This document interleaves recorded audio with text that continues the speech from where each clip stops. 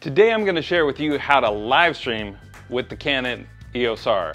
You're a beautiful person and a good person. And if no one has told you that today, let me be the first person to tell you that. Let's say you want to live stream and you have a Canon EOS R and you think, how can I live stream with the Canon EOS R? So I can tell you some of the considerations that you'll have to address in order to get this going. First, what do you need? The EOS R, internet, hardware, a microphone, audio interface, and streaming software, but we're gonna go slow, step by step. Canon EOS R, it's pretty helpful if you're gonna sit at your desk and talk to the camera to have a wide angle lens like the RF 15 to 35. And now we're gonna get into some of the other considerations that will help you be successful when you live stream with your Canon EOS R. So besides the Canon EOS R, what do you need? That's not all you need, you need more than that. You need internet speed above 5 megabits per second. I'd recommend 8 to 10. If you're doing 4K, look at 25 or so. What else do you need? You need a piece of hardware to convert the HDMI out to a source that your computer, your laptop, or your desktop will understand as a video source. And that's something like the Elgato Camlink. This is my favorite option, but other options are the Blackmagic Mini Recorder. You might consider a Sling Studio setup. I'm gonna talk briefly about each hardware option. My recommendation is the Elgato Camlink 4K. Advantage is no additional software is needed, and you can also see it's pretty small. Another option is the Blackmagic Mini Recorder. One of the disadvantages is it requires an intermediary Blackmagic video software called Desktop Video. This device also has a Thunderbolt type connector, so make sure you have a dongle or an adapter to connect that or a laptop with Thunderbolt ports. Again, that's why I prefer the Elgato.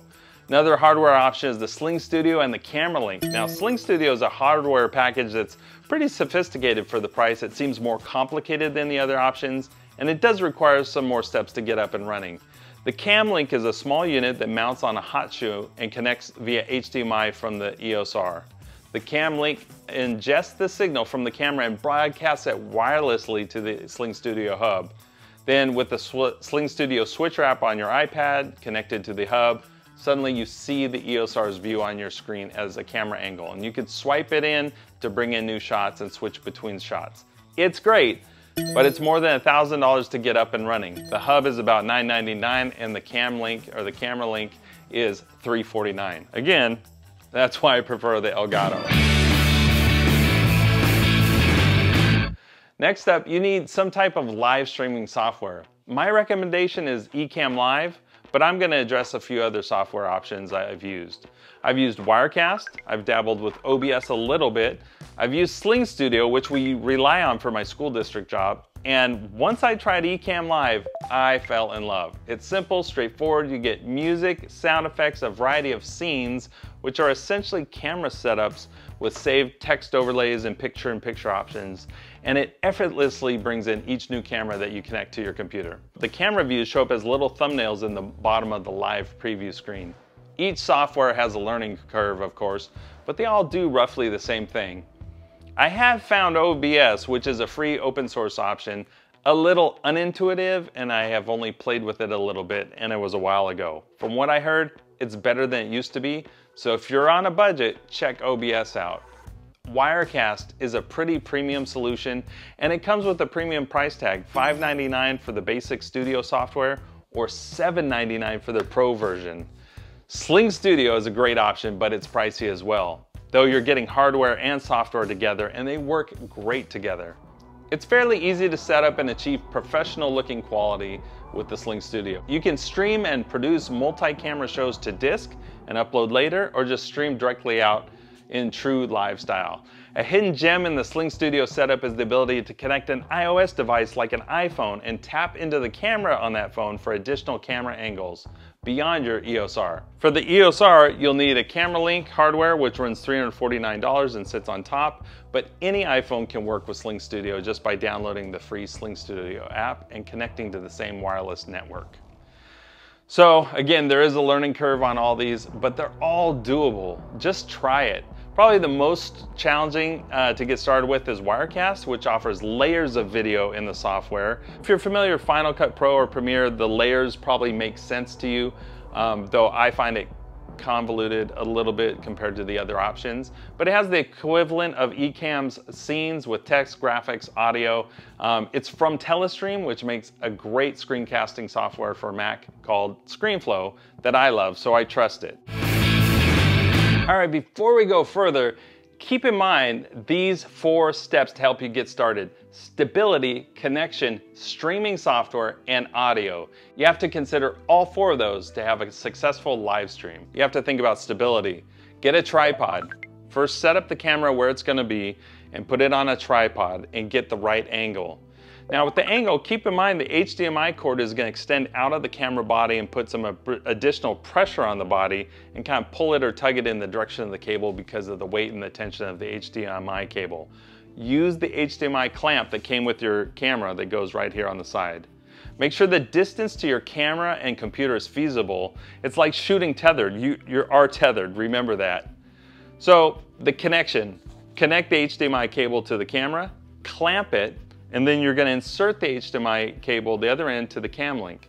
Connect the cam link to the laptop, and your laptop should recognize your camera right away. Streaming software setup, open Ecamm Live or your streaming software. Look for your camera tab or camera panel and identify your cameras. Look for the name of the external camera, which will show up as CamLink. Your other one should show up as like FaceTime camera or something like that. That's the built-in webcam. I'm not gonna go over the Ecamm Live interface, but these simple steps are so effective for going live with your EOS R.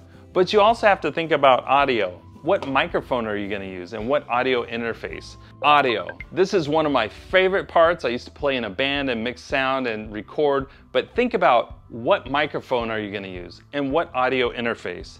You have options like the Audio Technica BPHS1. You have options like the Shure SM-B7. You have the Rode Wireless Go. And you have like the VideoMic Pro that sits a shotgun style on top of the camera. Audio interfaces, you have things like the Scarlett 2i2 Focusrite and the Zoom H6.